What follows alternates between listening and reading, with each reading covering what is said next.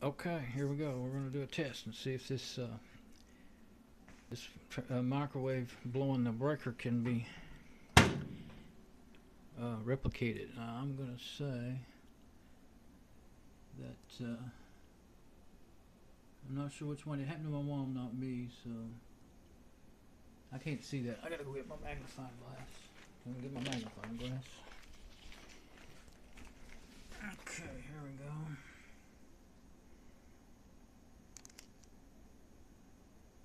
That lined up. You can actually see it in there. Reheat. Uh, dinner, beverages. So she said she thought it was something like reheat.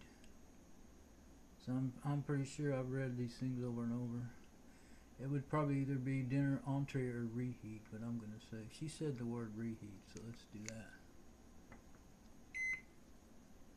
Okay, it says auto. And uh, three. Hit start.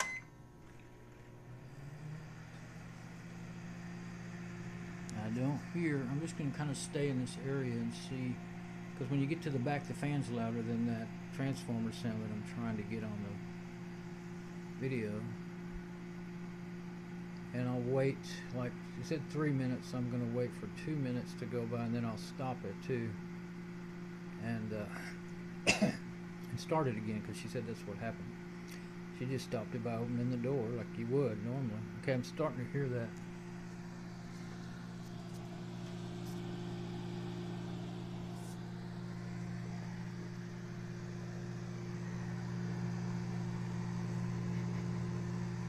And it didn't get very loud, that transformer sound. I, I think I kind of smelled burnt wiring smell anyway. I almost thought I smelled it on and off, but I thought, oh, it's probably just a leftover in my mind from whenever it did happen with the cord, you know. Uh, oh, let's stop it here. Oh. Okay. The water's not really, the, the bowl's not, the Pyrex bowl's not really warming up that much. So here we go. Now let's just go like this. I figured that. Just did like it should. Now let me go around here while it's running and see if the cord's heating up. I don't think it will be, but let's go make sure.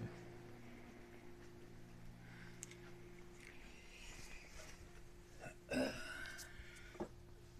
I can get- No, it's cold. It was cool night and cool in the house. It's cold. So trying to go there. It's making the noise now.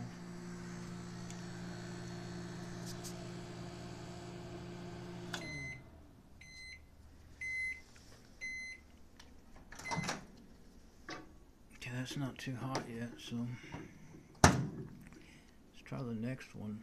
Dinner entree, maybe it'll run a little longer.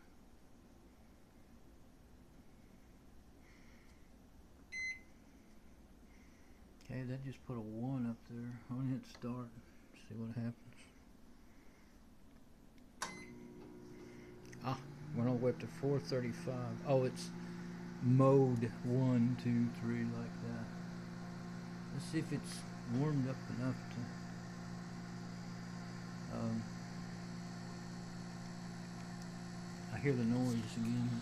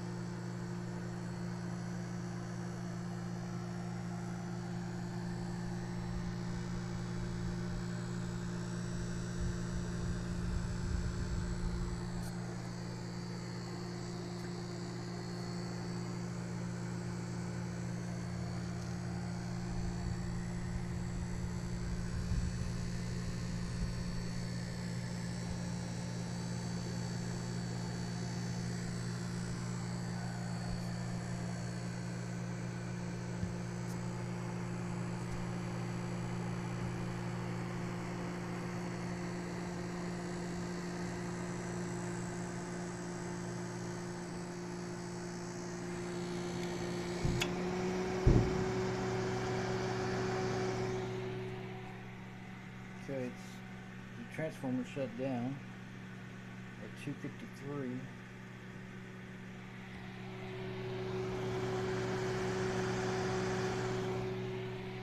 So uh, that's really should be part of normal operation. Let's see. Okay, that bowl's starting to warm up now.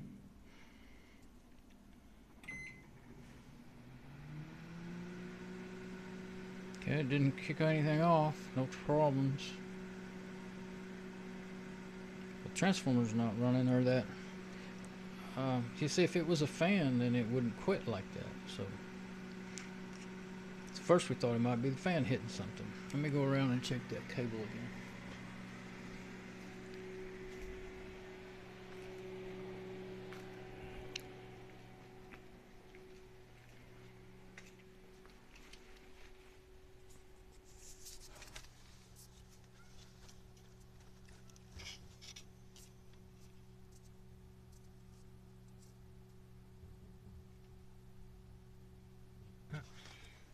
Cool as it can be. That's good.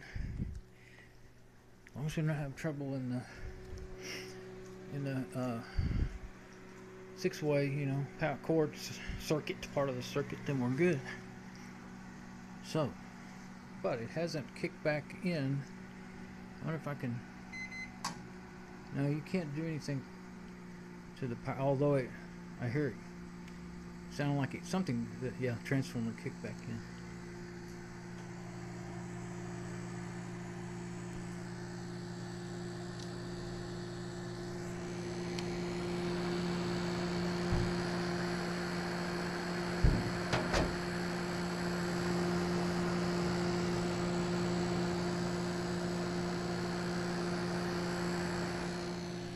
I know when you get back there, it gets, uh, and that banging is me touching the top of the microwave. It's really thin. Thinner than any I've ever seen. Cost cutting measure.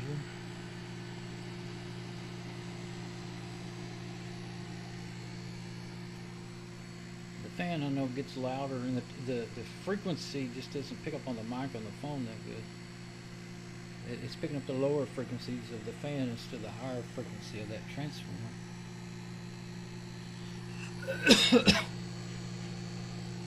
I have swore that almost every time I've tried to go over there and sniff of it, on, especially on the left side there, kind of in that corner, I swear I smell a little bit of electrical. Of course, it's new, and you know they're going to make some smells, but uh, it's been used for three days. Uh, you know, three people, four days.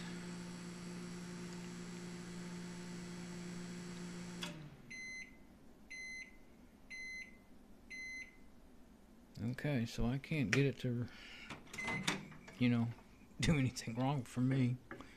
it just works like it should. So, still, the other one I used it to, the, the uh, um, Kenmore that I thought had gone bad, out there plugged in in the garage to my 20 amp circuit, it works. I think there's a 20 amp circuit in here too. Most of it, I realized, I thought that our circuits were mostly 15 amp in the house, and I was looking in the breaker box, it was all but two or three or, or 20 amp. So, um, I'm guessing that it's okay. Uh, I'm guessing it. I'm gonna bring the other one back in and just get this ready to ship back. Because if it's gone off twice, just because it won't do it for me, don't mean it won't do it again. So if it's blown that breaker down here on our, it's a about a seven to eight foot long cord it's uh my there it is. Only thing on there is those little low wattage bug uh, repellers besides the microwave itself. And uh, it's seven or eight foot cord. Of course it was made that way. Didn't didn't add that to it or anything. And it's uh, I'm sure it's 14 gauge wire because I had it apart. On one of my videos I said it backwards. I always do that uh, I know my wire gauges pretty well, but when I'm talking, I always get things wrong. So uh, it's uh, it's 15 amp. It says it on it, so I know it's 14 gauge. I was just looking them up, and the 20 amps are all 12 gauge, and they don't make don't make any these days with 10 gauge wire, which probably would be overkill anyway. But uh, all right, uh, this done. I'm gonna swap them out, and this one's going back. Even if we have to pay shipping, it'd be better than spending eighty bucks for something we're not gonna can't use. All right, bye.